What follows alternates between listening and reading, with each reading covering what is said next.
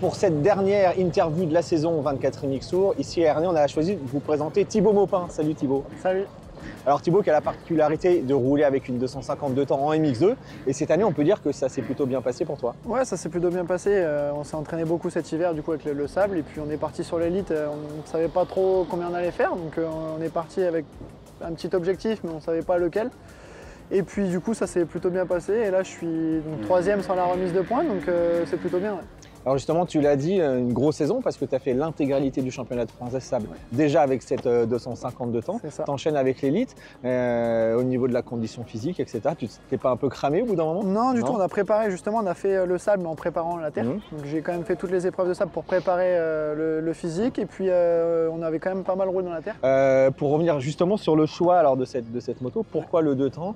Est-ce que c'est un. Alors certains disent qu'en MX2 ça peut être un avantage de temps en temps on l'a vu notamment dans, la boue à Beach, dans la boue, le sable de Beach, tu avais super bien roulé avec un podium et une victoire de manche.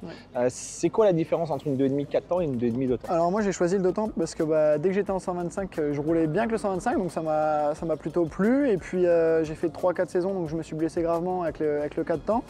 Et on a décidé l'année dernière de revenir sur le 2 temps. Et puis donc c'est sûr qu'il y a des avantages, par exemple comme les, pistes bah, comme Beach. Mais aujourd'hui, on n'est pas forcément avantagé parce que le fond est glissant, le, le deux temps pardonne moins, donc on glisse beaucoup plus.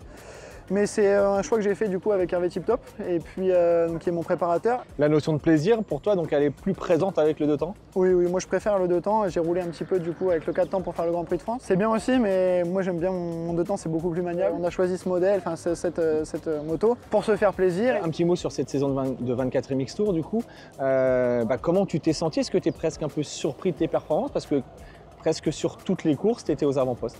J'ai été surpris à la première. C'est vrai qu'à la première, j'ai été surpris. Je ne m'attendais pas du tout à faire quatrième euh, du coup, du de la première manche.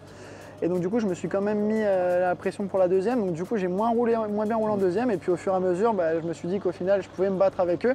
Donc ici, on en a parlé, on est à Ernée, c'est la dernière du championnat. Objectif, c'est pourquoi pas aller chercher un podium final. Donc vous êtes assez, vous êtes trois pilotes en, bagarre pour ce top 3 final. C'est le but? Ah, C'est l'objectif. On a toujours l'objectif de faire un bon résultat. Après, on ne sait pas exactement le nombre de points que j'ai de retard sur euh, Benjamin Garib qui est troisième avec le, report de points qu'il a eu euh, suite à l'épreuve de beach. Euh, donc oui, c'est sûr que moi je vise le top 3. Après j'ai quand même Adrien Petit qui est juste derrière. Donc ça reste assez serré. Maintenant il va falloir faire sa course, faire le meilleur résultat possible. Alors là, on est au mois de juin, donc la saison d'élite, elle est terminée.